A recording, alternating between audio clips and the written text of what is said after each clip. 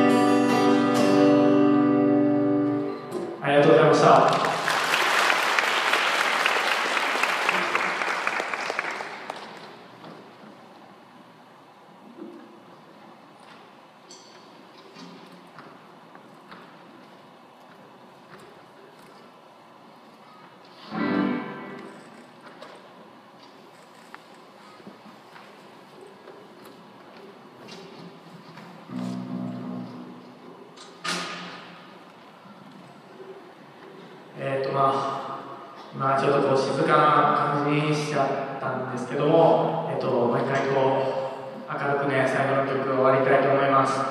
えー、最後の曲はですね、まあ、去年の、まあ、秋のような感じの曲なんですけども、まあ、去年もねいろんなことがありましたよね。ボーカルが彼女と別れそれは いろんなことがありましたけどもまあ、皆さん無事こう2015年を迎えられましてそのまま去年を少し振り返るような曲をやりたいと思います、えー、本当に今日は盛り上がってくださって本当僕らの曲を聴いてくださって本当にありがとうございました。それでは最後の曲です。聴いてください。茜色の細道